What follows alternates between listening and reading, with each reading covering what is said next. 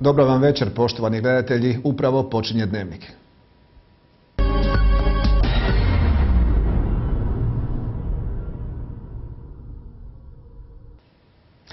Na temu znanost za mlade u Vukovaru u kući Nobelovca Lavoslava Ružičke u Vukovaru predavanje je održao ugledni hrvatski znanstvenik Ivan Đikić. Govorio je Đikić o koje čemu, obrazovanju i uspjesima budućnosti prema kojoj unatoč svemu onome što nas tlači treba gledati optimistično. Osvrnuo se i na obrazovni sustav u kojem prioriteti moraju biti djeca, njihovo obrazovanje, odgoj i talenti, te je naglasio kako bi iz okvira postojećeg školskog programa djeci trebalo izdvojiti 30% slobodnog vremena, a profesor Đikić dio svog slobodnog vremena posvetio je našoj ekipi u razgovoru za nedjeljni dnevnik.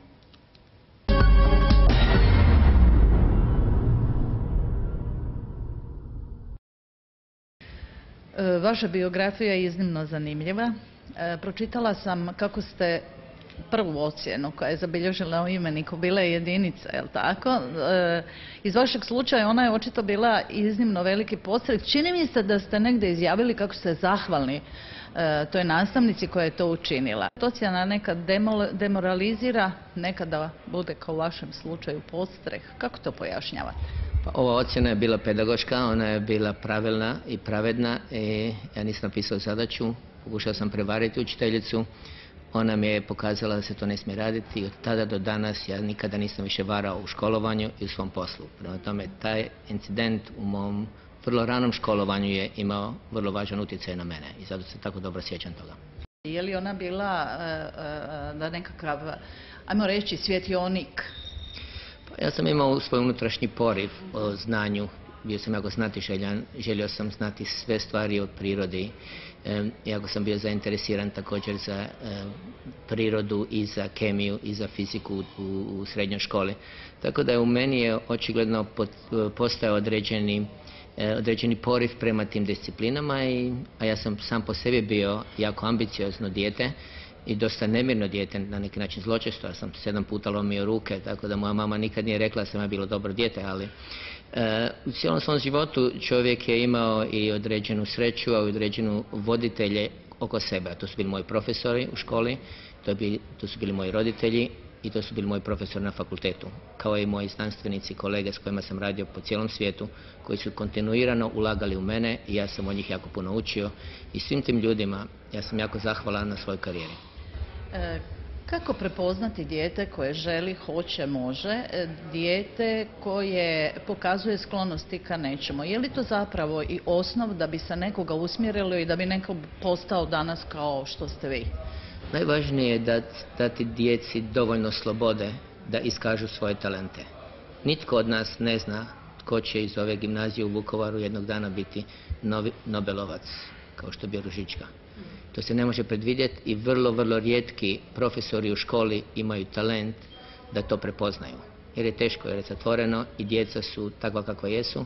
Ali ono što sam primijetio živeći sada godinu dana u Kaliforniji, koliko su biti američke škole pripremljene za to. Američke škole vam daju prostor, daju vam vrijeme, to vam je kao, jedan, e, kao jedno igralište gdje se djeca igraju sa svojim talentima i pokušavaju iskazati sebe u najboljem najpozitivnijem svjetlu ono što oni jesu i što žele ostvariti. Mislim da ta sloboda, jedan kreativni ambijent gdje djeca odrastaju uz normalno pedagoške mjere koje su neophodne da djeca mogu biti usmjerena, da su to tajne e, vrhunskih uspjeha i tada djeca postaju najkvalitetniji članovi društva u budućnosti i pokreću pojedina društva i zato mi se čini da one zemlje koje imaju dobro obrazovanje, koje imaju slobodu i kreativnost i koje ostvaruju talente svojih građana su jako uspješne i sretne za život. Je li to na tragu jedne vaše izjave da 30% djeci treba e, dati da one zapravo razmišljaju i shvate da je znanost zabavna i da se onda pozabave svojim napredovanjem, učenjem? Točno u jednom intervju rekao sam da bi djeci trebalo definirati 70%, 70 programa unutar škole, što djeca trebaju naučiti, jer svako društvo ima svoje zahtjeve. Ali 30%, najmanje 30%, bit, i zavisno od dobi, trebalo bi dati djeci slobodno da kroz elektivne programe, kroz ono što ih interesira, pokažu u čem su jako dobri. Jer nekada ćete imati dijete koje je jako problematično u matematici, ili u hrvatskom ili u fizici, ali će zato biti vrhunsko umjetnosti, u glazbi. A to se vrlo rijetko prepozna ako taj, toj djeci ne date vrijeme i prostor da to iskažu. I zato vjerujem da uz obvezni program svaka država bi trebala u svom obrazovnom sustavu sadržavati e, potrebu da e, da dovoljno vremena i dovoljno prostora i učiteljima, a i učenicima da iskažu što mogu zajedno napraviti neobavezno, ali da je to njihova odgovornost. I na kraju krajeva kad date ljudima slobodu i odgovornost i profesori i učenici će napraviti puno više nego kad im definirate šta moraju sve napraviti od stranice A do stranice Z. E, postoji li recept kojim bi se u Hrvatskoj pameti i znanju dao prioritet, a samim tim i zaustavio odlazak stanovništva? To je jedno dosta teško pitanje. Prva, prva činjenica da je situacija alarmantna u Hrvatskoj. I danas sam ovdje u Vukovaru, došao sam u Vukovar samo zbog brojeva koji su frapatni. 1990. godine u Vukovaru je živjelo 44 tisuće građana, stanovnika. Danas je 21 tisuća. To je više od 50% smanjenje populacije. I situacija je takva da ljudi odlaze i ta demografska kritična situacija utječe i na ekonomsku opstojnost ovog područja. Jer vi danas bez radnih sposobnih ljudi ne možete ni otvarati nove pogone, iako ured gradonačelnika radi, oni jednostavno ne mogu zaposliti, nemaju ljudi koji će raditi. I taj trend se mora preokrenuti, inače Hrvatska stvarno neće dobro završiti. I meni se čini da to nije samo u, u školovanju. Školovanje će napraviti nešto za 10-20 godina od danas, ali to je u svijesti ljudi. Ljudi se moraju probuditi, ne mogu očekivati sve od Zagreba. Ljudi u Vukovaru, Vinkovcima, Srijemu, Slavoniji moraju raditi u svojim lokalnim sredinama i zahtijevati od vlade, zahtijevati od županija da dobe šansu da ostvare svoje ciljeve. Danas ću govoriti o kako je stvorena e, gimnazija u Vukovaru, kako su biti ljudi svojim radom, svojom požrtvovnošću i svojom slogom stvorili ovu gimnaziju usprkos vlasti koja u to vrijeme bila za mađarizaciju, a ne za hrvatski jezik. Prema tome, poruka danas je također da se stvarno mladi preko školovanja, ali i odrasli probude i da počnu angažirano raditi sami u svojim sredinama da bi situacija bila bolja i da bi onda obitelji sa mladom djecom ostajale ovdje, vidjeli svoju budućnost i vidjeli svoju, na neku način, sigurnost za sebe i za svoju djecu. Mi imamo vrlo e, uspješne e, sportaše, zapravo na, u svim segmentima društva imamo e, ljude na koje se možemo ponositi. Postigli su izvrsne rezultate upravo u Hrvatskoj E, koja im nije nudila preduvjete kao što su imale njihove kolege u nekim drugim razvijenim zemljama. Imamo pamet. Mi imamo ne samo pamet, mi imamo talent, mi imamo prirodni pul talenata koji je nevjerojatan. Gdje god ja dođem po cijelom svijetu uvijek ćete naći uspješne, radišne, marljive i prihvaćene Hrvate koji su koji grade ta društva. Toga imamo i u Hrvatskoj i vidite naši sportaši iz jedne obitelji Kostelić ili Vlašić, ti ljudi pobjede cijeli svijet iza kojih stoje mašinerije, novci i sve. Ali zbog toga što obitelj iza svoje djece i zbog toga što su djeca toliko talentirana, oni su na vrhu svijeta. I to pokazuje da Hrvatska ima nevjerojatne resurse prirodne u svom, svom genomu, u svojoj djeci, u svojim ljudima. Osim toga imamo prekrasnu prirodu. Naša zemlja je na mjestu koje bi svako poželio i zato mi je stvarno žao vidjeti da smo u današnjoj situaciji da u biti imamo jedan demografsku krizu koja je alarmantna i o kojoj se treba stvarno brinuti da bi se prekinuo odlazak, da bi se ne samo ljudi vratili, nego da bi ljudi ostajali ovdje i stvarali i pozivali druge strance da dođu ovdje i da zajednički stvaramo Hrvatsku kao uspješnu prosperitetnu zemlju. E, imamo znanstvenike, mlade ljude koji postižu izvrsne rezultate, e, ljude koji e, zaista i u svijetu su priznate. Bilo da je riječ o srednjoškolcima ili pak studentima. I sad te vijesti nam budu marginalizirane. Jesmo li mi mediji krivi i plasiramo ovo žutilo i sve ono što prodaje jer smatramo da je sve kapital, zapravo zaboravljamo upravo takve ljude staviti na prvo mjesto i to bi trebala biti vijest. Prva. Sigurno pozitivne vijesti su poželjne i, ne samo pozitivne, nego konstruktivne, neke optimistične vijesti, primjeri dobrote, primjeri dobrog rada. Sve bi to trebalo biti više u medijima. Nažalost, mediji prodaju informacije, a vrlo često senzacionalističke vijesti su one koje ljudi otvaraju zbog ne znam nekih poriva unutrašnjih, a ne zbog stvarno želje da nešto pročitaju ili nauče. Međutim, da dobrota ili kvaliteta ljudi čak i ne treba biti toliko u medijima ako se ona prihvati u društvu. Nažalost u Hrvatskoj e, kriteriji, društveni kriteriji su toliko srozali da su čak i mediji dobri. Vi danas nemate primjere u društvu djeci koja će im pokazati rad je važan, važno je požrtvovanje, važno je vaše vrijeme da ulažete u sebe.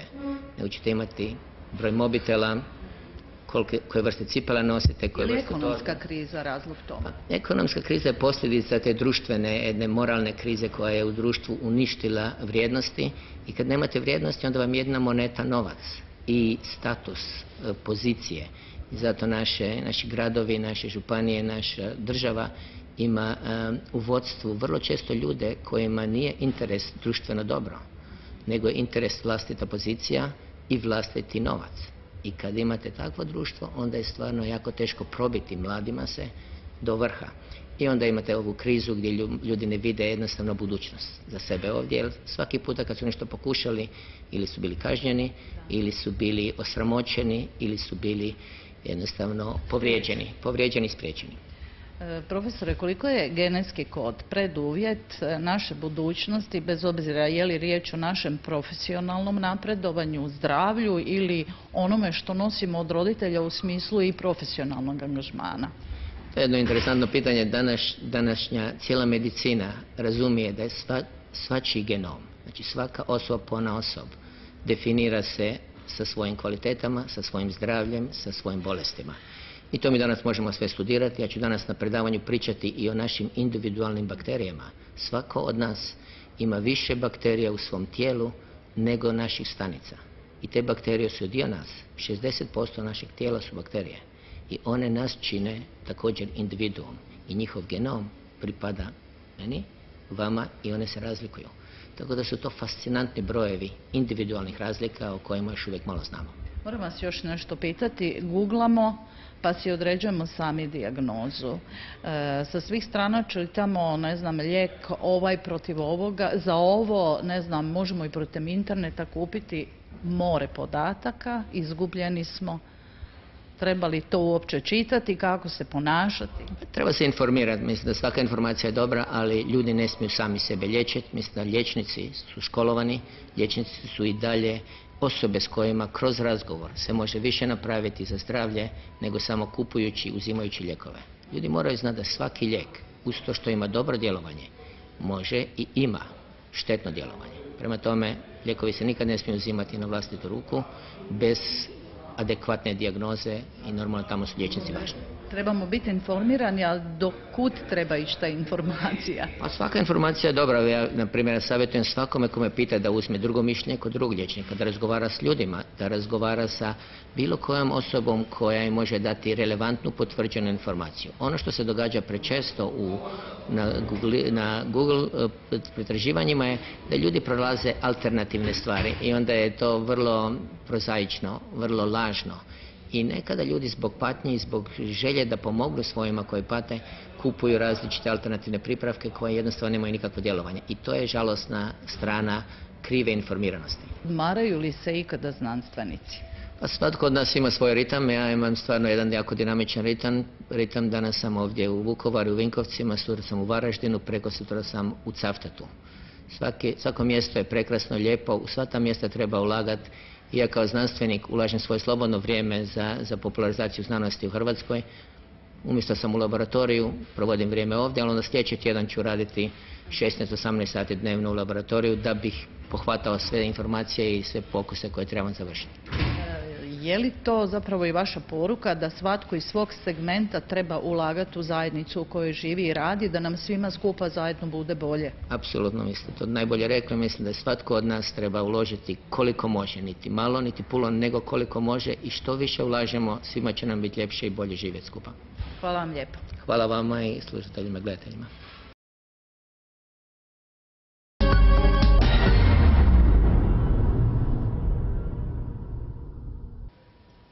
A u nastavku dnevnika donosimo tjedni pregled zbivanja.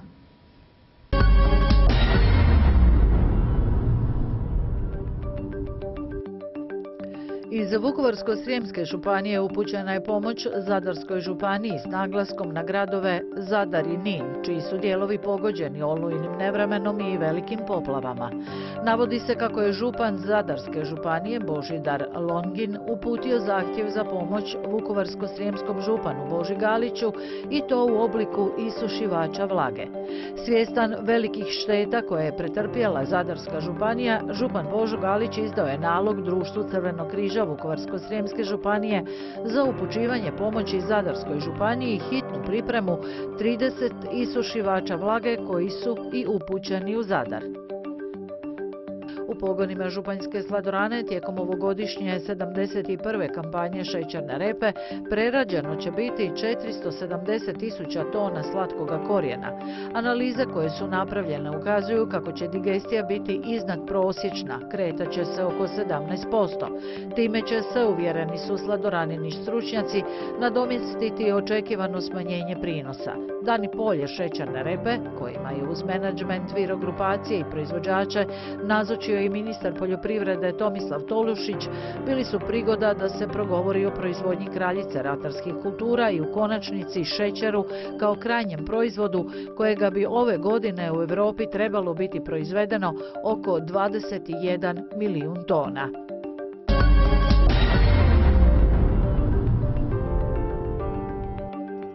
Vukovarsko-srijemska županija postala je prva u Hrvatskoj koja će koristiti najsuvremeniju radiokomunikacijsku opremu među članovima Stožera civilne zaštite. Bila je to glavna tema sjednice Stožera civilne zaštite Vukovarsko-srijemske županije, na kojoj je predstavljena nova oprema pristigla prije svega zbog sve većeg broja elementarnih nepogoda na ovom području u posljednjih nekoliko godina. Udruga za podršku žrtvama i svjedocima u prosincu prošle godine započela je s provedbom projekta 4P, pravo i prevencija, prevencija i podrška za starije i nemoćne, financiranog sredstvima Ministarstva za demografiju, obitelj, mlade i socijalnu politiku. Projekt koji za cilj ima pružanje podrške starim građanima u smislu edukacije i spriječavanja zlouporabe ugovora o dosmrtnom, odnosno doživotnom uzdržavanju, podrazumijeva održavanje radionica s ciljanom skupinom, a jedna takva upriličena je i u Vinkovačkoj udruzi umirovljenika.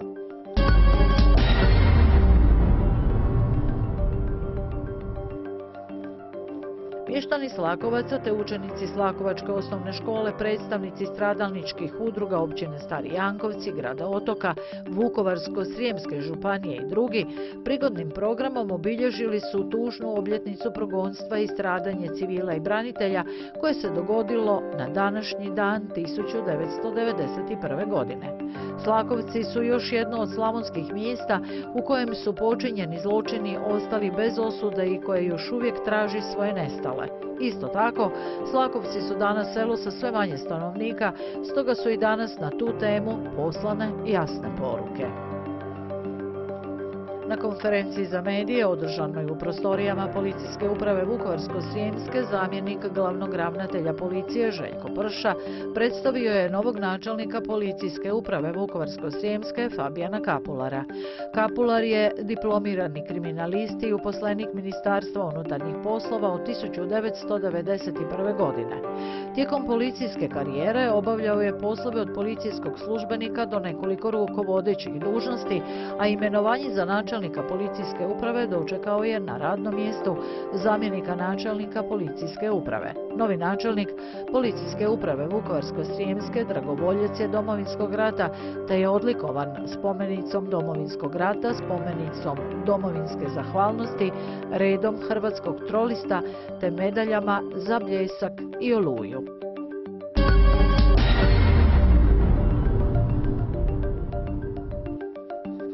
Hrvatska vojska vratit će se u Vukovar do 18. studenog, najavili su to potpredsjednik vlade i ministar obrane Damir Krstičević i načelnik glavnog stožera oružanih snaga general zbora Mirko Šundov, koji su sa suradnicima boravili u radnom posjetu Vukovaru. Zajedno s vukovarskim gradonačelnikom Ivanom Penavom posjetili su vojarnu 204. Vukovarske brigade i upoznali se s tijekom radova na opremanju i adaptaciji objekata za smještaj i rad pripadnika oružanih snaga Republike Hrvatske.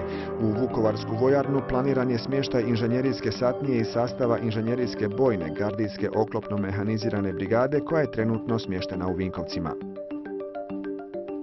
Proračun za prvu polovicu 2017. godine, stanje u gospodarstvu i ulaganje u infrastrukturu najvažnije su teme sjednice Županijske skupštine, kako su izvijestili iz Upravnog odjela za gospodarstvo i regionalni razvoj Vukovarsko-srijemske županije, pozitivnih pomaka ima kako u ulaganjima, tako i u kontekstu ukupne situacije u gospodarstvu.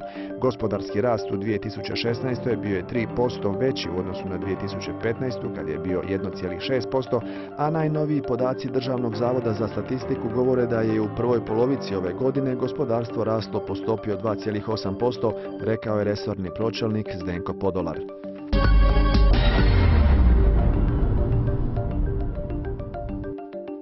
Svinjarevcima je obilježena tužna 26. obljetnica od sloma obrane 22. rujna 1991. godine ulaskom neprijatelja s tenkovima u selo iz pravca Negoslavaca mještani su se povlačili prema starim Jankovcima.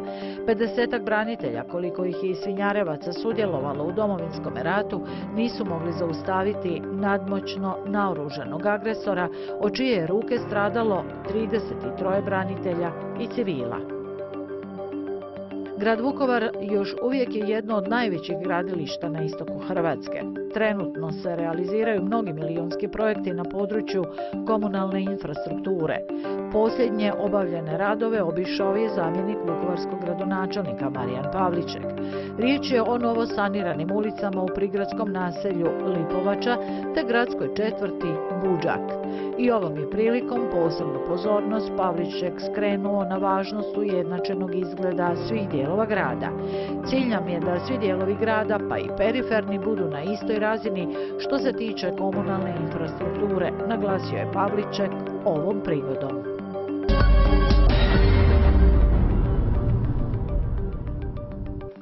Svečanom akademijom u Hrvatskom domu te polaganjem vijenaca kod spomen obilježja na memorialnom groblju žrtava iz Domovinskog rata u Vukovaru je obilježena 26. obljetnica ustroja 204. Vukovarske brigade, čiji su pripadnici branili Vukovar i okolicu 1991. godine u agresiji na taj dio Hrvatske. Kroz 204. Vukovarsku brigadu prošlo je oko 5,5 tisuća boraca, od kojih se 923 vode kao poginuli i nestali, dok je ranjeno oko 1600 pripadnika postrojbe. U organizaciji Aerokluba Borovo i ove godine već desetu zaredom upriličen memorijal vukovarskih zrakoplovaca u spomena desetoricu članova Vukovarskog aerokluba poginulih u domovinskom ratu. Ovo je naš mali doprinos kojim poručujemo da smo zahvalni što su dali svoje živote za našu slobodu i da ih nismo i nećemo zaboraviti, poručeno je na komemorativnom skupu.